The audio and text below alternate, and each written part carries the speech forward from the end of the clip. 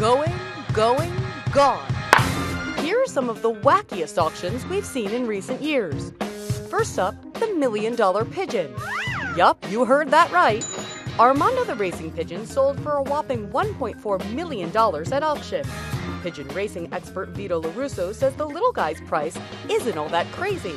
I was surprised the first time I read it, but pigeon racing is like horse racing. You get a pigeon that wins a lot of races, goes for a lot of money. Next up, an auction that could have left a buyer wanting their money back. It's the Banksy Girl with Balloon, ladies and gentlemen, standing in the back of the room. Elusive street artist Banksy painted this image of a girl with a balloon. When it went up for auction, the price soon soared. 150, 200,000 I have already, 200,000, 300,000, 350, 400,000, 400,000, 600,000, your bid, 600,000, anyone else? Last chance. But as soon as the gavel had struck, painting began to self destruct. People were stunned, but it had been part of the artist's plan all along. After he installed a shredder into the frame, the owner paid the $1.37 million price in full, choosing to keep the art, which Banksy has since renamed Love is in the Bin. But certainly love isn't in the air anymore between Donald Trump and his ex wife Marla Maples, who called it quits after six years of marriage in 1999.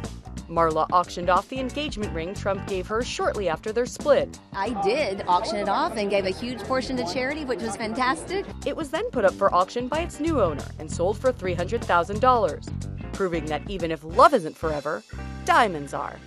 And this far less glamorous piece of presidential history also made it to the auction block recently.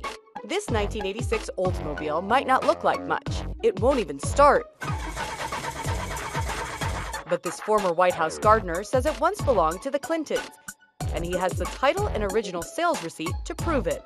I believe this is the last car that Hillary Clinton has ever driven. After buying the Oldsmobile for $2,000, Michael Lawn put it on eBay for more than 40,000, according to the website.